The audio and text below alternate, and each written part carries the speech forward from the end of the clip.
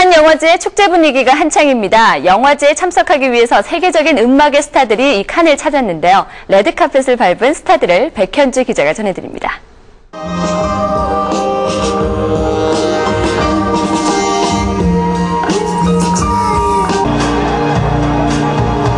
드레스를 화려하게 차려입은 프랑스의 슈퍼모델 에드리아나 카렌부가 등장하면서 스타들의 행렬이 시작됩니다.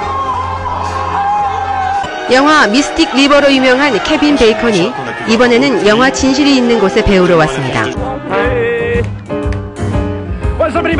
진실이 있는 곳은 루퍼트 홈즈의 동명소설을 원작으로 한 영화입니다. 이 영화는 50년대와 70년대를 넘나들며 한 여인의 미스테리한 죽음을 밝혀가는 과정을 담고 있습니다. I did a two and all. Then she did one. 함께 주연을 맡은 콜린 퍼스와 레이첼 블렌차드도 진실이 있는 곳의 공식 상영 행사에 참석하려고 레드카펫을 밟았습니다.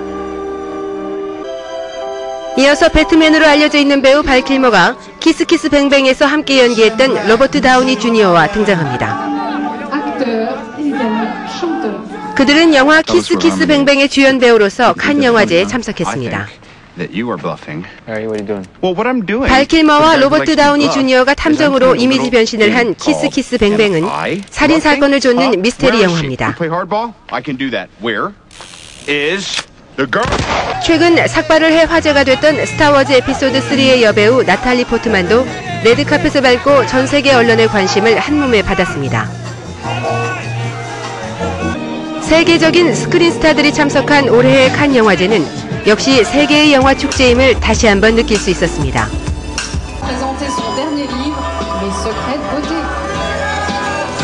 YTN 스타 백현주입니다.